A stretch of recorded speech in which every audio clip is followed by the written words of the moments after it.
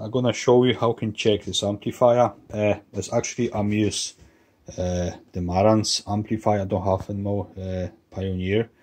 Uh, it's a similar construction. Uh, so you can see this uh, the white, the big,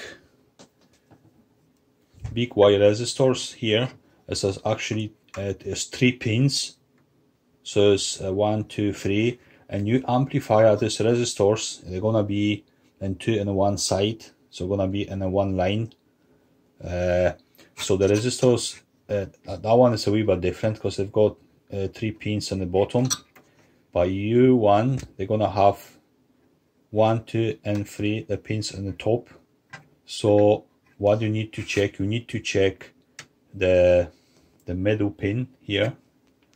So the first of all it'd be best to check for if there's any voltage. I mean, because uh, you don't want damage your speakers. So, problem. So just need to connect your uh, negative to to the black one. Set your multimeter to to DC, and you can set like up to two volts 20 whatever. And I'm checking you can see I'm checking the middle pin. So when I touch the middle pin you can see as about around the 10 millivolts. So that's that's safe. If you see like more like 5 volts that's as things as, as the the power transistor damage but I don't think so because if you say the one channel working so the the the protection system is not after uh, relay. So the first check the voltage the voltage is okay. Uh, I forgot to say to put volume to zero to check this voltage. So now put some uh, signal in put some voltage uh, sorry the volume up, no much. It's like, you know, just a Weber, just a Weber.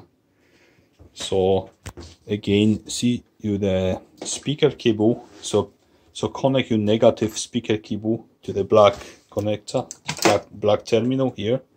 That's my actually the the testing speaker.